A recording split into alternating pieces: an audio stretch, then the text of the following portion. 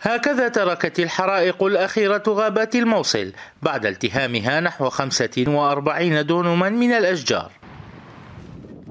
لكن هذا المشهد لم يدم طويلا حتى أقبل متطوعون على تنظيف وتهيئة المساحات المحترقة تمهيدا لإعادة زراعتها بقرار صاغه الشباب وتفاعلت معه الجهات ذات العلاقة.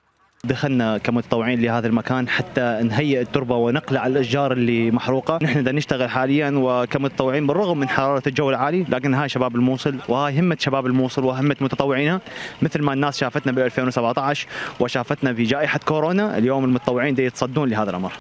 غابات الموصل المقدرة مساحتها بسبعمائة دونم. تعيش تحت تهديد مخلفات الحرب بعد أن دمرت منها أكثر من ثمانين بالمئة فيما يعتزم الشباب والفرق التطوعية إعادتها بدعم دولي وآخر محلي.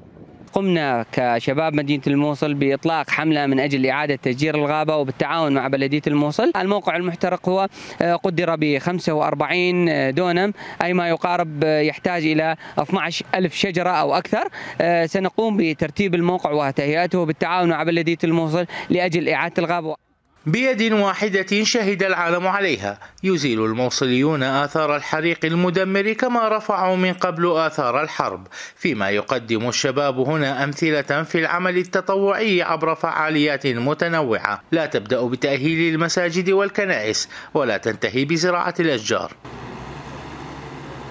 ويعول المجتمع الموصلي على شباب المدينة في التصدي لجميع الأزمات لا سيما المفتعلة منها كحوادث الحريق في مشهد قد لا تجده في مكان آخر سوى نينوى التي فازت مرتين كعاصمة للعرب في العمل التطوعي. من الموصل محمد سالم يو تي في.